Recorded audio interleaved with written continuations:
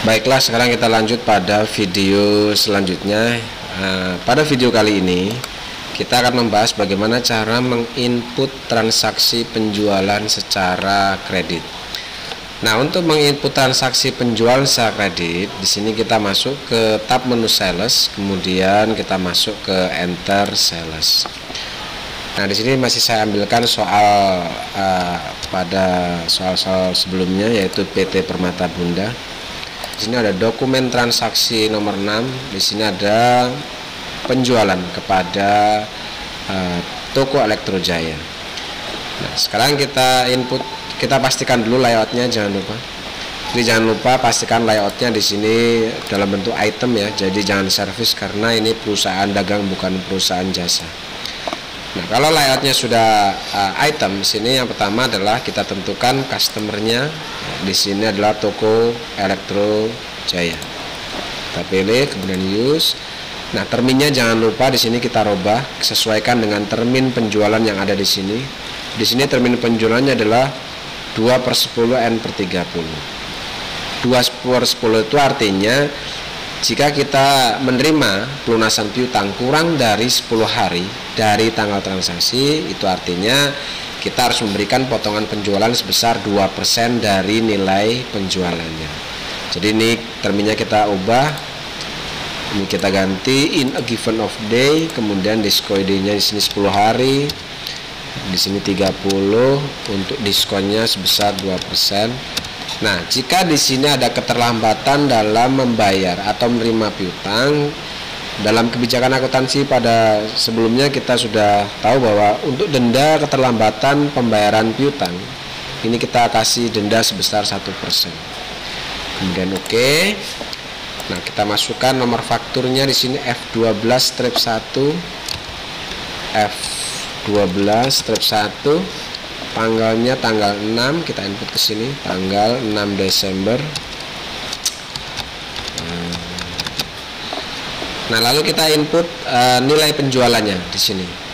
Di sini untuk yang pertama ada 8 unit ya untuk item portage di sini.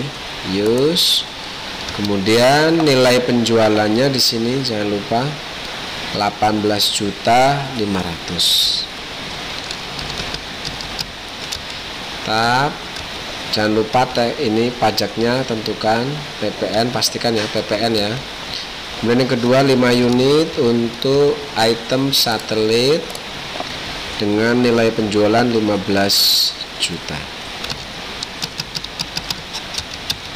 Nah kalau sudah perhatikan di sini bahwa jumlah yang muncul atau jumlah piutang yang muncul dari transaksi penjualan ini atau penjualan secara kredit ini muncul jumlah piutang sebesar 245 juta 300 nah ini sudah sesuai ya. Kalau sudah sesuai begini kita rekod saja. Nah selanjutnya kita akan masuk pada transaksi penjualan yang uh, berikutnya. Kita cari di sini transaksi penjualan yang selanjutnya di sini. Uh,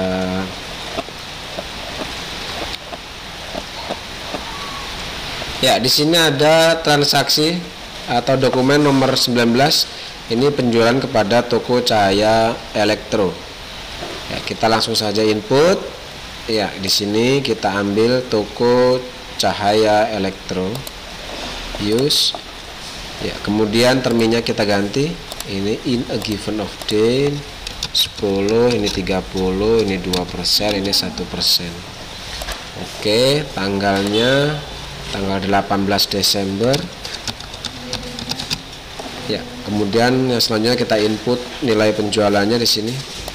Ya jumlah penjualan di sini ada 6 unit untuk nama barang portage dengan nilai penjualan sebesar 18 juta 500 ya kemudian ditatap.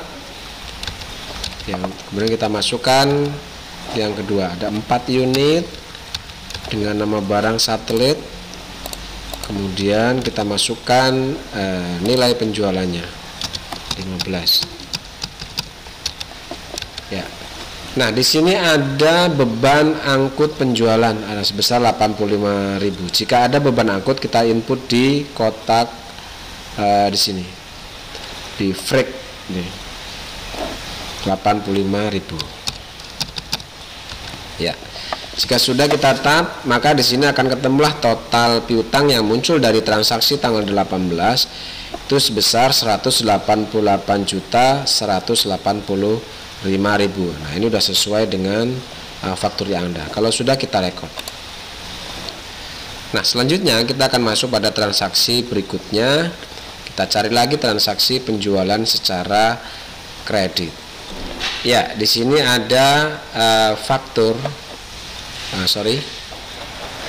Ini bukan ya.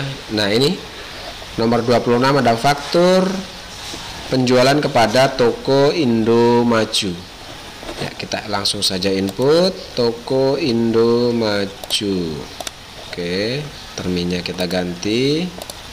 Ini Indo given ini 10 30 21 oke tanggal ah sorry nomor fakturnya F12 strip 3 tanggalnya 27 Desember 2020 kemudian kita masukkan atau kita input nilai penjualannya jumlah penjualan. Yang pertama 15 unit untuk voltage-nya.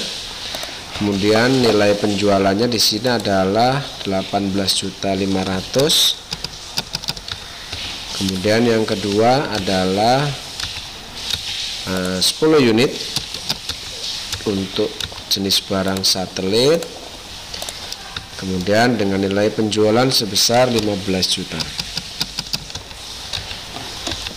Nah, lalu di sini ada beban angkut kembali sebesar 95.000 kita input di kolom freak ini.